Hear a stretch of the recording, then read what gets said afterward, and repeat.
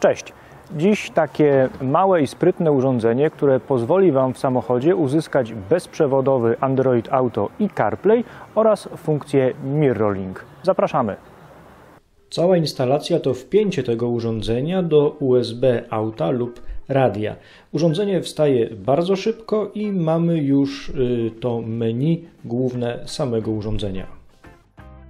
Najważniejsze rzeczy to CarPlay, Android Auto, opcja podłączenia pendrive'a do modułu oraz y, klonowanie ekranu telefonu, czyli mirroring. Łączymy się po Bluetoothie telefonem z naszym urządzeniem i gotowe. Mamy bezprzewodowe Android Auto na fabrycznym ekranie radia.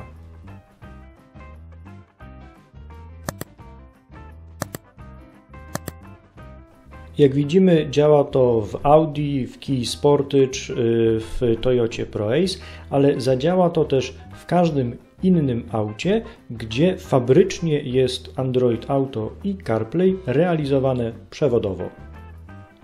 Teraz bierzemy iPhone'a i robimy ten sam manewr, czyli łączymy telefon z naszym urządzeniem po Bluetoothie.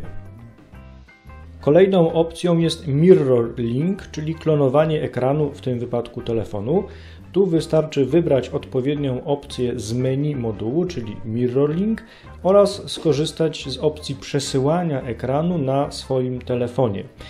W Samsungu ta opcja nazywa się Smart View, w Xiaomi bodajże projekcja. U siebie musicie sprawdzić, jak ta opcja się nazywa w telefonie, jeśli ją w ogóle macie.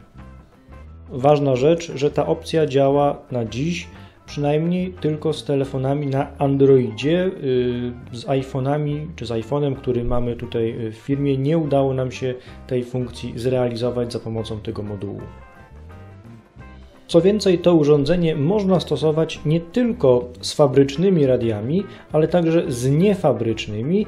My tu na stole mamy akurat radio Alpine 690, które ma przewodowo realizowane Android Auto i CarPlay.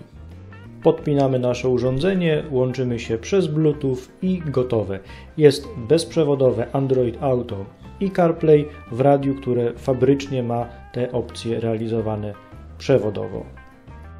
Opcja klonowania ekranu, czyli wchodzimy w funkcję Mirror w menu modułu i przesyłamy ekran z poziomu telefonu. W Samsungu to nazywa się Smart View. Oczywiście w tej opcji sterowanie jest niestety tylko z poziomu telefonu, ale y, sama opcja działa bezprzewodowo.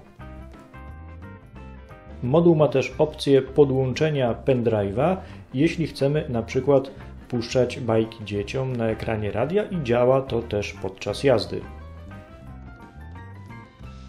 Drugim urządzeniem, które nie tylko robi bezprzewodowy Android Auto i CarPlay, ale też daje pełnego, otwartego Androida, jest to urządzenie.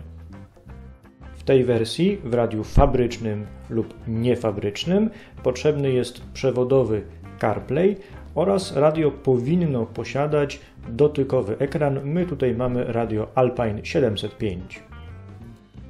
Podobnie jak poprzednie urządzenie, wystarczy je wpiąć w USB i mamy już pełnego Androida. Jak widzicie, preinstalowany jest na przykład Netflix, HBO czy Disney+.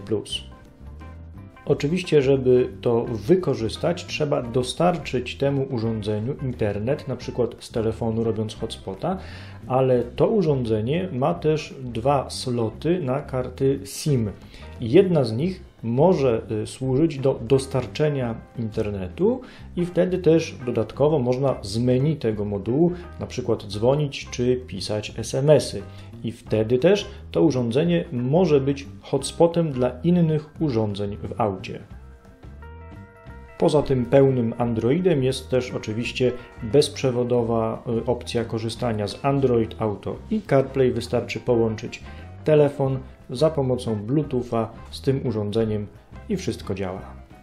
Do obu tych urządzeń linki znajdziecie w opisie tego filmu. Pod tymi linkami też jest pełniejszy y, opis tych y, urządzeń, więc tam y, zajrzyjcie, jeśli Was to zainteresowało. Polubcie też nasz profil na Facebooku, Instagramie, tam wrzucamy więcej materiałów, zdjęć, filmików z naszych testów czy montaży. Tymczasem do następnego razu.